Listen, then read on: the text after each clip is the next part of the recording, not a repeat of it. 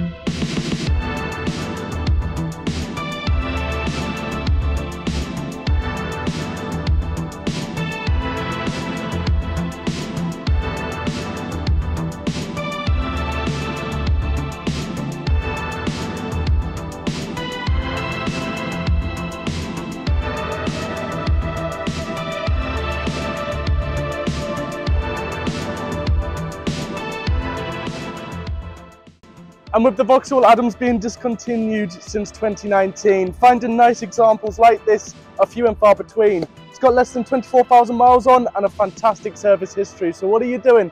Pick up that phone and leave me a deposit today. Once again, my name is Harvey and I'd like to thank you for watching another A690 Specialist Cars video.